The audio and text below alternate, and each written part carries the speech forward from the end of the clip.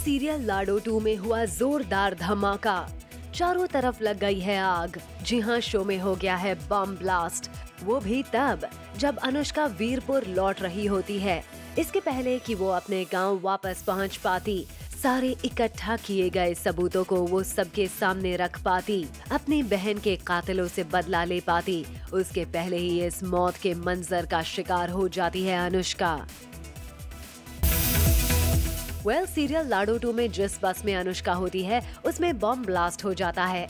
लेकिन इसके पहले कि आप कुछ और समझे, हम आपको बता देते हैं कि अनुष्का इस हादसे का शिकार होते होते बच जाती है। जी हाँ अम्मा जी अपनी सुधरी पोती को खोने से बच जाती है। लेकिन सवाल ये है कि जो अनुष्का को मारना चाहता था, अब उसका आखिर क्या होगा? अब देखना ये है कि अनुष्का इन कातलों को सजा कैसे दिलवा पाएगी। For all the Garma Garam Bollywood gossip news and more, download the Zoom app now.